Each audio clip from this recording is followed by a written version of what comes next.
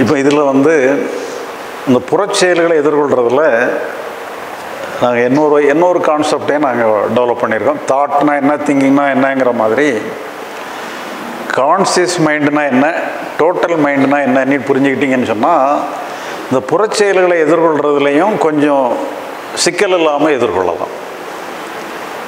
ஏன்னு சொல்லி சொன்னால் புறச்செயல்கள் எல்லாமே உடனே முடிவு பண்ணுற மாதிரி உள்ள செயலாக இருக்காது. சில நேரங்களில் வந்து ஃப்யூச்சரோட சம்மந்தப்பட்டதாக இருக்கும்.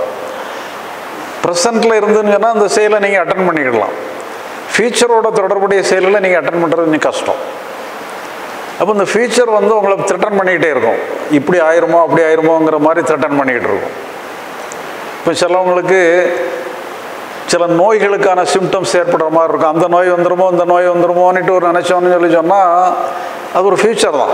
ஃப்யூச்சரில் நமக்கு இப்படி ஆயிருமோ இது இப்படி ஆயிருமோன்னு சொல்லி நினைக்கும் பொழுது அது இருக்கிற நோய் இன்னும் கொஞ்சம் அதிகப்படுத்தி விட்டுரும். அப்போ இந்த ஃப்யூச்சரை எதிர்கொள்கிறது எப்படி? ங்கிறதுல தான் வந்து இந்த கான்சியஸ் மைண்டுனா என்ன டோட்டல் மைண்ட்னா என்னன்னு புரிஞ்சுக்கிட்டீங்கன்னு சொன்னால் ஃப்யூச்சர் சம்மந்தப்பட்ட பயம் பிரச்சனைகள் இதுகளை சிக்கல்கள் இது எல்லாத்தையும் கொஞ்சம் எதிர்கொள்கிறது கொஞ்சம் ஈஸியாக இருக்கும். இப்போ கான்சியஸ் மைண்டுனா என்ன? டோட்டல் மைண்டுனா என்ன? கான்சியஸ் மைண்டுங்கிறது உணர்மனம் டோட்டல் மைண்டுங்கிறது முழு மனம்.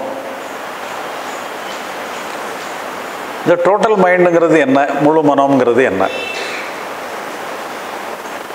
இப்போ நம்மளுடைய ஆன்மீக சாஸ்திரங்களில் அந்த கரணம்னுட்டு ஒன்று சொல்லுவாங்க. அந்த கரணம்ங்கிறது என்னன்னு சொல்லிச்சுன்னா மனம் புத்தி சித்தம் அகங்காரம்னு சொல்லி நாலு பாற்றாக இருக்குது இந்த நாலும் சேர்ந்தது தான் அந்த கரணம்னு சொல்லுவாங்க. மனம் புத்தி சித்தம் அகங்காரம் நாலும் சேர்ந்தது அந்த கரணம்னு சொல்லுவாங்க. இந்த நாலும் சேர்ந்த ஒரு பகுதி தான் வந்து முழு மனம்னு சொல்கிறது இந்த உணர் மனம் இந்த கான்சியஸ் மைண்டுங்கிறது வேற எதுவும் இல்லை. இந்த முதல்ல வரக்கூடிய மனம்ங்கிற பகுதி தான். அது ஒரு நாலில் ஒரு பகுதி. இருபத்தஞ்சி சதவீதம். இந்த நாலும் சேர்ந்தது அந்த கான்சியஸ் மைண்டும் சேர்ந்த மொத்த தொகுப்புக்கு பேர் உணர்மானம் அதாவது டோட்டல் மைண்டு அல்லது வந்து அந்த கரணம். இப்போ நம்ம வந்து எந்த செயலையுமே வந்து ஒரு உண்மையான சக்தியோடு செயல்படும் பொழுது அந்த டோட்டல் மைண்டு செயல்பட்டால் தான் உண்மையான சக்தியோடு செயல்படும். இந்த நாலில் ஒரு பகுதியாக இருக்கக்கூடிய இந்த மனம் மட்டும் செயல்பட்டதுன்னு சொன்னால் அந்த செயல் வந்து கொஞ்சம் டிஸ்டர்பிங்காக தான் இருக்கும். ஏன்னா அதுக்கு வந்து வீரியம் கொஞ்சம் பவர் கொஞ்சம் குறையும் இந்த டோட்டல் மைண்டுக்கு பவர் ஜாஸ்தி.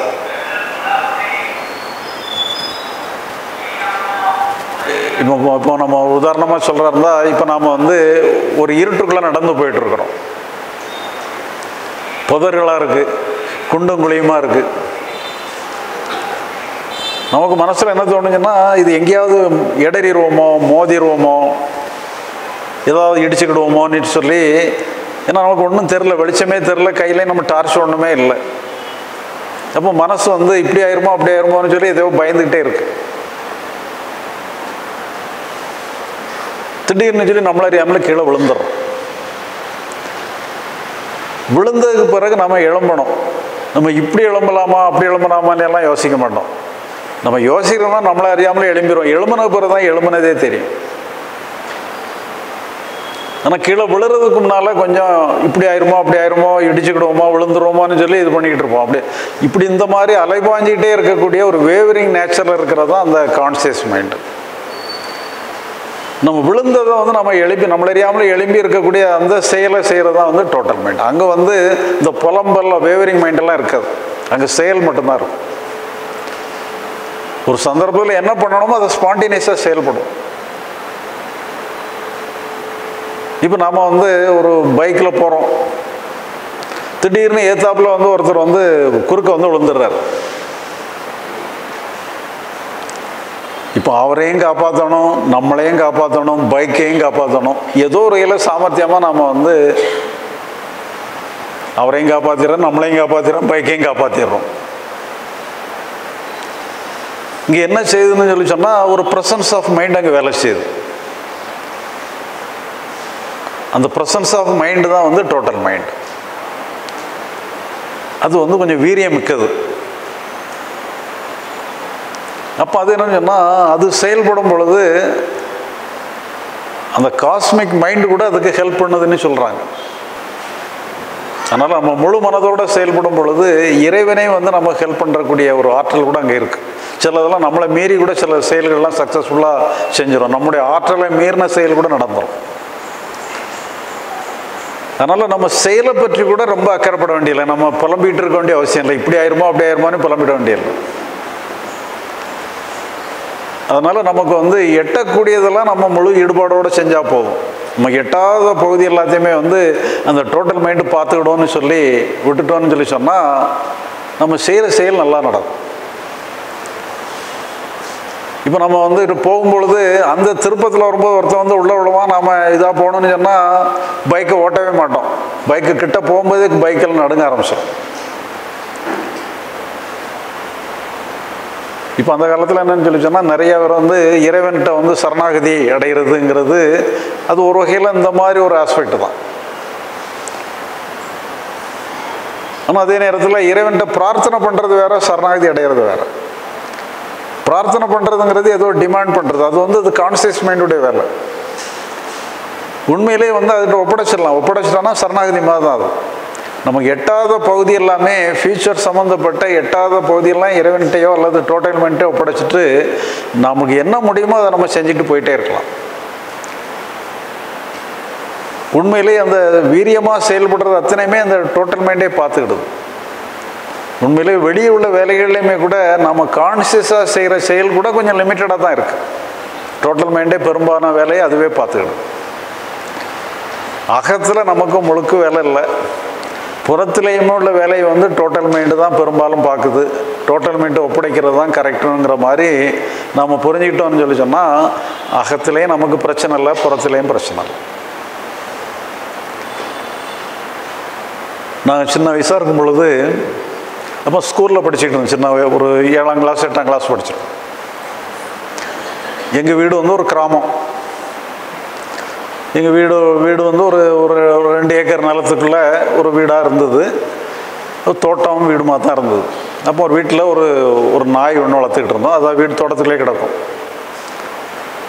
ஒரு நாள் நாங்கள் ஸ்கூலுக்கு போ நான் ஸ்கூலுக்கு போகும்போது அந்த நாய் என் பின்னால் வந்துட்டு விரட்டி விரட்டி பார்த்தானா போக மாட்டேன்ட்டு.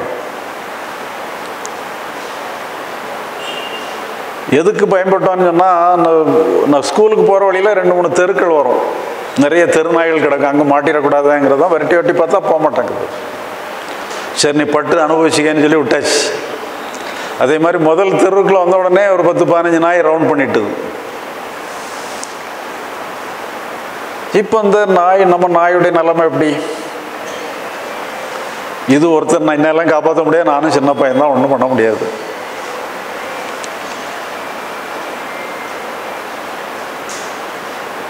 பத்து பதினஞ்சு நாய்கள் சுற்றி நிற்குது சரி தொலைஞ்சுதுன்னு நான் நினச்சேன்.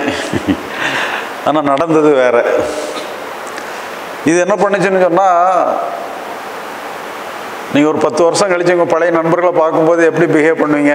எப்படி நல்லா இருக்கியாப்பா நல்லா இருக்கியான்னு கேட்குற மாதிரி இந்த நாய் என்ன பண்ணுச்சுன்னா ஒரு வினோதமாக ஒரு சவுண்டை க்ரியேட் பண்ணிக்கிட்டு வாலையை ஆட்டிக்கிட்டு அப்படியே ரவுண்ட் பண்ண ஆரம்பிச்சிட்டுது. அப்போ கடிக்க வந்த நாயெல்லாம் கன்ஃபியூஸ் ஆகிட்டு என்னடா நாம் வந்து கொலவெறியோடு வரோம் இது அன்பை பொழியுதேன்னுட்டு சொல்லி அது கன்ஃபியூஸ் ஆகி அப்படி நிற்குது இதை தான் அப்படியே ரவுண்ட் பண்ணதுக்கு ஒரு கேப் கிடச்சிது. அந்த கேப்பை பயன்படுத்தி ஒரே எஸ்கேப்பாக ஓடியாச்சு போயிட்டு. தப்பி நம்ம வீட்டுக்கே போய் சேர்ந்துட்டு இப்போ இதெல்லாம் நம்ம திட்டமிட முடியாது. திட்டம் போட்டால் பயம்தான் ஏற்படும். இந்த மாதிரி போனால் நாய்கள் நமக்கு நிற்கும் நம்ம எப்படி சாமர்த்தியமாக தப்பிக்கணும்னு எல்லாம் திட்டம் போட்டாங்கன்னா நமக்கு நடுக்கம் தான் ஏற்படும். இப்போ இதே மாதிரி தான் ஃபியூச்சர் ஃபியூச்சரை பொறுத்த அளவில் நம்ம இப்படி ஆயிருமோ அப்படி ஆயிருமோன்னு நினச்சான்னு சொன்னால் கலக்கம் தான் ஏற்படும். உங்களுக்கு என்ன செய்ய முடியுமோ அதை நீங்கள் செய்யுங்க. ஃபியூச்சரை டீல் பண்ணுறதுக்கு அந்த டோட்டல் மைண்டு பார்த்துக்கிட்டோம் அல்லது இறைவன் பார்த்துக்கிட்டாருன்னு சொல்லி முடிச்சுட்டு நீங்கள் செய்ய வேண்டியதாக மனப்பூர்வமாக செஞ்சுக்கிட்டு இருந்தீங்கன்னு சொன்னால் ப்ரெசன்ட் ஆக்ஷனும் நல்லாயிருக்கும் ஃபியூச்சர் ஆக்ஷனும் நல்லாயிருக்கும். எல்லாமே நல்லாயிருக்கும். அதனால் நம்ம வந்து அகத்தை பொறுத்த அளவில் அக எமோஷனை பொறுத்த அளவில் அக உணர்ச்சிகளை பொறுத்த அளவில் அது இயற்கை அங்கே ஒன்றுமே நமக்கு வேலை இல்லை. அதை சுதந்திரமாக விட்டால் போதும். அதை சுதந்திரமாக விடணும்னு புரிஞ்சுக்கிட்டது தான் ஞானம். அப்படி சுதந்திரமாக விடணும்னு புரிஞ்சதுக்கு பிறகு அது அந்த எமோஷன்ஸ் எல்லாமே சுதந்திரமாயிருது. அப்படி சுதந்திரமாகிற எமோஷனுக்கு பேர் தான் லிபரேஷன் வேறு ஒன்றுமே கிடையாது. முக்தி மோட்சம் எல்லாமே அதுதான்.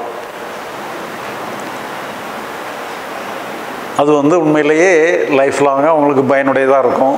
புறத்தையும் நீங்கள் வந்து எப்படி எதிர்கொள்ளணுங்கிற மாதிரி சில முடிவுகள் எடுத்துக்கிடணும். இந்த முடிவுகள் எடுத்துக்கிடும் போது அது ஒரு கோடு போடுற மாதிரி தான். இந்த கோட்டுக்குள்ளே உங்கள் வாழ்க்கையை அமைக்கும் பொழுது இன்னும் கொஞ்சம் சிறப்பாகவே இருக்கும். இப்போ உதாரணமாக ஒரு ரூமில் நீங்கள் உட்காந்துருக்கீங்க உங்களை சுற்றி பத்து பேர் இருக்கிறாங்க. இந்த பத்து பேரும் உங்களுக்கு பரம விரோதிகள்.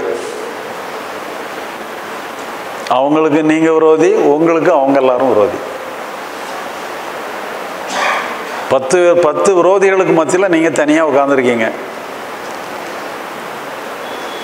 ஆனால் அவங்ககிட்ட உங்கள்கிட்ட உங்கள்கிட்ட எதுவும் சண்டை கண்டெல்லாம் போடலை. அவங்க அவங்க வேலையை தான் பார்த்துக்கிட்டு இருக்கிறாங்க. நீங்கள் உங்கள் வேலையை தான் பார்த்துக்கிட்டு இருக்கீங்க. ஒருத்தர் ஒருத்தர் பேசவே இல்லை எட்டி பார்க்க கூட இல்லை. ஏன்னா பத்து பேரும் இருக்கிறாங்க உங்களை சுற்றி இருக்கிறாங்க. இப்போ உங்கள் மனநிலை எப்படி இருக்கும்? அமைதியாக இருக்குமா? ரெஸ்ட்லெஸ்ஸாக தான் இருக்கும். அவங்க ஒன்றுமே பண்ணலைன்னாலும் கூட உங்கள் மனசு ரெஸ்ட்லெஸ்ஸாக தான் இருக்கும். இவங்களால என்ன ஆபத்து ஏற்படுமோ இவங்களால என்ன பிரச்சனை ஏற்படுமோ தேவையில்லாத பிரச்சனை ஏற்படுமோ இந்த மாதிரி தான் ஒரு மன ரெஸ்ட்லெஸ்ஸாக தான் இருக்கும். இப்போ இதே ஒரு உதாரணத்தை இன்னும் கொஞ்சம் மாற்றி பார்ப்போம். நீங்கள் ஒருத்தர் தான். உங்களை சுற்றி பத்து பேர் உட்காந்துருக்குறாங்க அந்த பத்து பேரும் வந்து உங்களுடைய க்ளோஸ் ஃப்ரெண்ட்ஸ்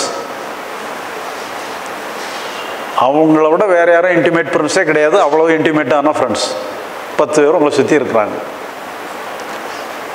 இந்த பத்து பேரும் உங்கள்கிட்ட எதுவும் பேசல. நீங்களும் அவங்ககிட்ட எதுவும் பேசல. அந்த பத்து பேரும் அவங்கவுங்க வேலையை தான் பார்த்துக்கிட்டு இருக்கிறாங்க. நீங்கள் உங்கள் வேலையை தான் பார்த்துக்கிட்டு இருக்கீங்க. இப்போ உங்கள் மனநிலை எப்படி இருக்கும்? அமைதியாக இருக்கும். ஆனந்தமாக இருக்கும். நீங்கள் உங்கள் வேலையை என்கரேஜ் சந்தோஷமாக உங்கள் வேலையை பார்த்துட்டு இருப்பீங்க. இப்போ இதே மாதிரி தான் என்னன்னு சொல்லி சொன்னால் இப்போ நாம் வந்து உலகத்தை எப்படி பார்க்குறோன்னு சொன்னால் அவரால் நமக்கு என்ன பிரச்சனை ஏற்பட்டுருமோ இவரால் என்ன பிரச்சனை ஏற்பட்டுருமோ யாரை பார்த்தாலும் ஒரு நம்பிக்கைக்குரியவராக தெரியாது. இப்போ நீங்கள் வந்து ஒரு ட்ரெயினில் தான் பிரயாணம் பண்ணுறீங்க உங்கள் கூட நாலு பேர் உட்காந்துருக்காங்கன்னு சொன்னால் ஒவ்வொருத்தரையும் சஸ்பிஷியஸ் தான் பார்ப்பீங்க. செல்ஃபோனை பத்திர ப வச்சிட முடியுமா? தைரியமாக செல்ஃபோனை வச்சுட்டு படுக்க முடியுமா? காலையில் எழும்பும்போது செல்ஃபோன் நம்மகிட்ட இருக்குமா? ஒரு டவுட்ஃபுல்லாக தான் இருக்கும். இப்போ என்னென்னு சொன்னால் இது இதுதான் நேச்சுரல் இப்போ அப்படி தான் வந்து நம்மளுடைய மனநிலை அப்படி தான் இருக்குது இப்போ நாம் என்ன சொன்னால் சில முடிவுகள். அதாவது எப்படி சொன்னால் எத்தனையோ முடிவுகள் எடுக்கிற மாதிரி இப்படி ஒரு முடிவு. யார் வேணாலும் எப்படி வேணாலும் இருந்துட்டு போட்டோம். நம்மளால் முடிஞ்ச உதவிகளை அவங்களுக்கு பண்ணணும். நம்ம வாழ்க்கை அடுத்தவங்களுக்கு உதவி பண்ணுறதுக்கு தான்ங்கிற மாதிரி நீங்கள் ஒரு முடிவு எடுத்துக்கிட்டீங்கன்னு சொல்லி சொன்னால் உங்கள் அணுகுமுறையே மாறிடும். அவங்க நமக்கு ஏதாவது அபகாரம் ஏதாவது இடைஞ்சல் பண்ணிடக்கூடாதுன்னு நினைக்கிற வரைக்கும் தான் அவங்க உங்களுக்கு எதிரிகள்.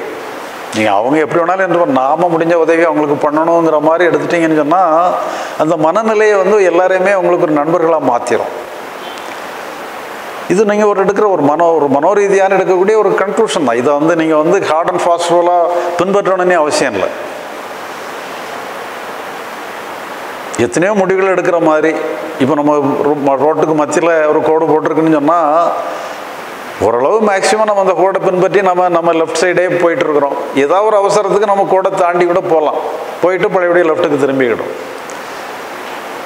ஹார்ட் அண்ட் ஃபாஸ்ட்ஃபுல்லாக வந்து ஏதோ ஷவர் போட்டிருக்கிற மாதிரி ஷவருக்குள்ளே நிற்கிற மாதிரி மாதிரி நின்று தான் ஆகணுங்கிற மாதிரிலாம் நெருக்கடியெல்லாம் இல்லை. அப்படி சில முடிவுகள் எடுக்கும் பொழுது அந்த முடிவுகள் வந்து நம்ம வாழ்க்கையே கொஞ்சம் ஒரு ரம்மியமான வாழ்க்கையாக மாற்றும் நீங்கள் செய்ய வேண்டிய செயல்களும் சிறப்பாக இருக்கும். ஏன்னா மனது அமை ஏன்னா தேவையில்லாத எமோஷன்ஸ்லாம் உங்களுக்கு வராது. அது வரக்கூடிய எமோஷன்ஸுமே கொஞ்சம் உதவிகரமான ஒரு நல்ல எமோஷன்ஸாக வரும். அப்போ உங்களுடைய வாழ்க்கையே வந்து வேறொரு கட்டத்துக்கு போயிடும்.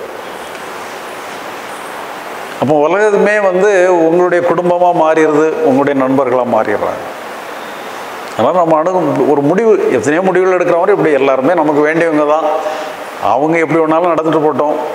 ஏன்னா அவங்கள நம்ம இப்படி தான் நடக்கணும்னு கட்டாயப்படுத்த முடியாது. நாம் அவங்களுக்கு உதவிகரமாக இருக்கும் நம்மளால் முடிஞ்ச உதவி அவங்களுக்கு பண்ணுவோம். நம்மளுக்கு என்ன முடியுமோ அதை நமக்கு செய்வோம். முடிஞ்ச அளவில் நமக்கு அடுத்தவங்களுக்கு உதவி பண்ணுறது தான் நம்முடைய வேலைங்கிற மாதிரி ஒரு முடிவை மட்டும் எடுத்துக்கிட்டா போதும்.